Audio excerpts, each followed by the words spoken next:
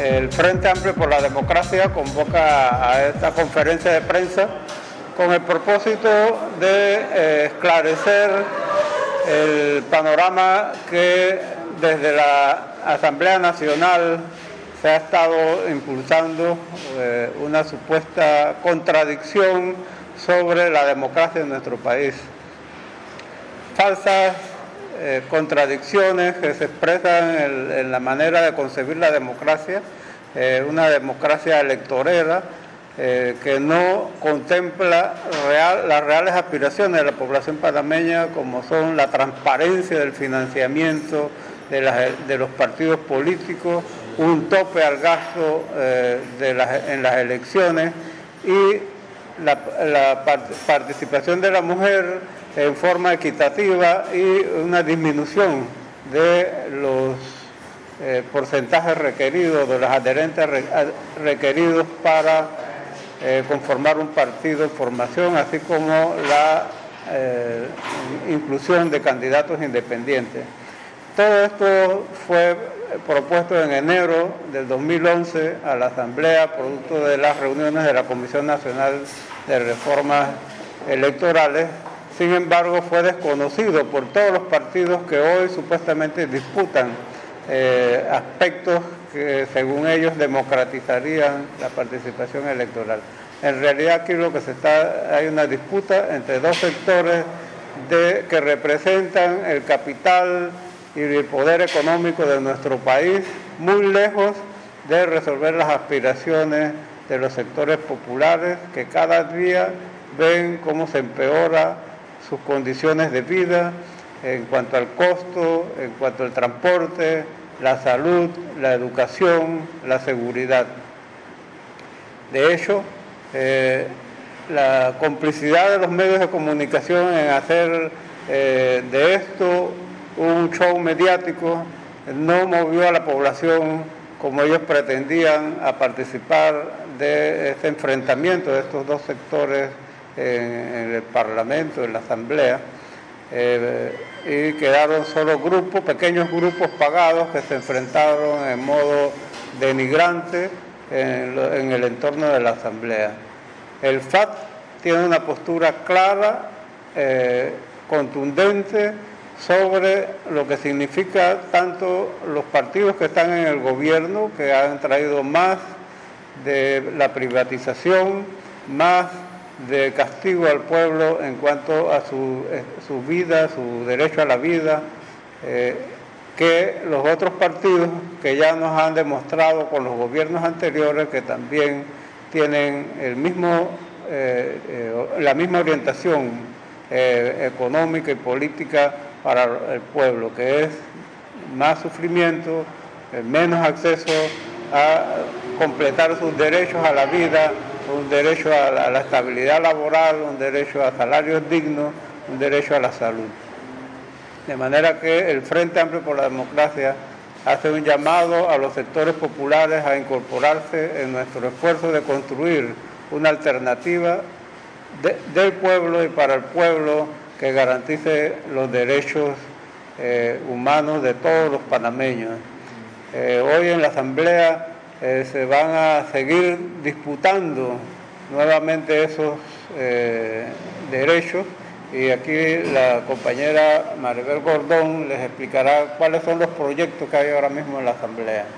Sí, mientras existe el circo mediático que nos ha impuesto la partidocracia y donde ya parece ser evidente un acuerdo entre los partidos tradicionales, el pueblo panameño está demandando la atención a sus necesidades sociales. Mientras han entretenido por cadena de televisión de manera directa a la población, en la asamblea se han estado configurando una serie de proyectos que lesionan eh, las condiciones de vida del pueblo panameño. Por ejemplo, en estos momentos en la Asamblea hay un proyecto de ley que intenta específicamente estructurar una política que encarece aún más las condiciones de vida de la población panameña. Se trata de un proyecto, anteproyecto de ley que está dirigido precisamente, dicen ellos, a disminuir el costo de la canasta de alimentos, a regular precios. Sin embargo, cuando miramos los detalles de este proyecto, lo que hay en escena es las posibilidades de otorgar un subsidio a quienes precisamente han calificado ellos mismos como especuladores, como un proceso de empresarios que no está dispuesto a, rebajar, a reducir los precios de los productos alimenticios y que ellos mismos han llamado libertinaje de mercado, lo que existe. Sin embargo, se está planteando para importadores y distribuidores el otorgamiento de un subsidio. Mientras hemos visto cómo el pueblo panameño tiene que hacer larga fila por horas para poder accesar al servicio de transporte público, hoy eh, los gobernantes señalan que se va a mantener a la empresa Mibus el subsidio que existe hasta este momento para el combustible del transporte. Se nos ha encarecido el transporte, el servicio no es mejor y ha pasado indudablemente a manos privadas. En el seno de la Asamblea de Diputados, además, están algunos anteproyectos que están dirigidos a lo que es la fusión del MINSA con la Caja del Seguro Social, cuya pretensión fundamental es hacerse de los recursos de los asegurados que están eh, siendo custodiados por ley por la Caja del Seguro Social. En medio de este proceso, además, se está planteando la modificación de la constitución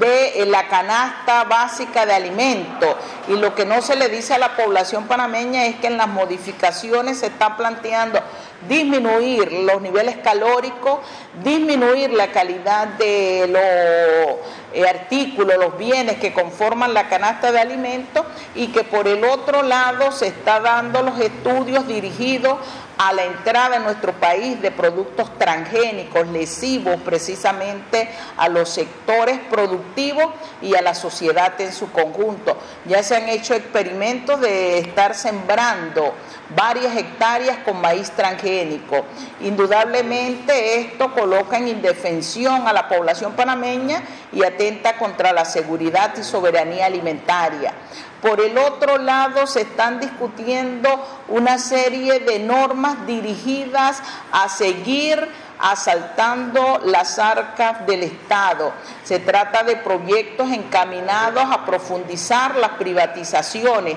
Este fin de semana, precisamente este viernes que viene, se está debatiendo o está en el tapete la supuesta presentación de consulta pública ciudadana para lo que es la privatización de las acciones del servicio de electrificación hoy en manos privadas y que vence su contrato. Indudablemente toda una burla para la población en la medida que todos sabemos que se nos ha encarecido el servicio de luz y todos sabemos de los apagones y fluctuaciones frecuentes que están viviéndose a nivel nacional. Por el otro lado, se está barajeando un anteproyecto que busca precisamente darle mayores eh, poderes a la NATI. Todos venimos cuestionando cuál ha sido el proceso de normas que se ha tenido sobre el registro de la propiedad territorial en este país. Sin embargo, se profundiza en el sentido de pretender llevar a siete años la dirección de esa institución y además de eso,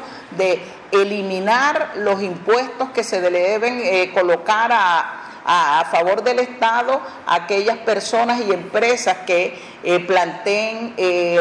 el, recoger lo que son las tierras que están sin utilización en estos momentos desde el punto de vista económico y así un conjunto de leyes que buscan, entre otras cosas, se plantea el incremento de la carga impositiva de 7 a 12%. Nosotros sabemos que son los consumidores los que tienen que cargar con esta carga tributaria, no son los empresarios que los trasladan. El poner en práctica el TPC a partir de octubre de este año ha implicado más de 15 reformas que van desde leyes impositivas, leyes fiscales, leyes de etiquetados a la producción nacional y que esto ha sido producto de un proceso en donde a la población se le ha tenido marginada de la información a la que tiene derecho. En ese sentido nosotros estamos denunciándolo porque allí la partidocracia se pone de acuerdo. Sus disputas o diferencias en este momento son electoreras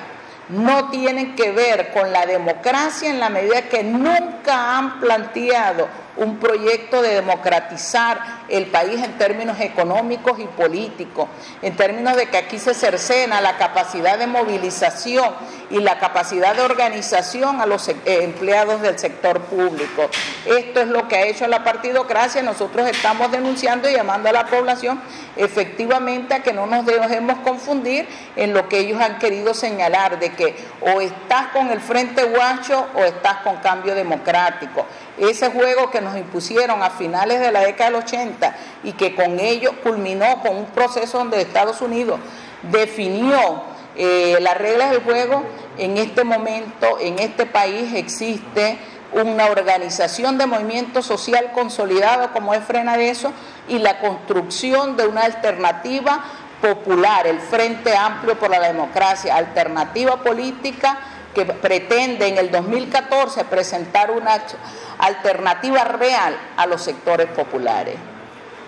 Yo quisiera concluir con el siguiente mensaje. Es falso que nosotros no estemos presentes en lo, que son los intereses de la población panameña. Hemos estado presentes en todas las luchas, así como los sectores organizados que dieron origen al FAT eh, Frenadeso, la coordinadora por la vida. Eh, nosotros eh, estaremos presentes y sabemos que ellos no en, la defensa de los intereses de los sectores populares en todas estas leyes eh, neoliberales que se pretenden implementar. Nos hemos, hemos decidido sumarnos al llamado a, manifestarnos, a la gran marcha que convoca Frenadeso y la coordinadora el 20 de septiembre a las 4 de la tarde en el Parque eh, Porras eh, en este mismo eh, mes. Estaremos presentes como Frente Amplio por la Democracia, demostrando que nosotros sí tenemos a la población de nuestra parte.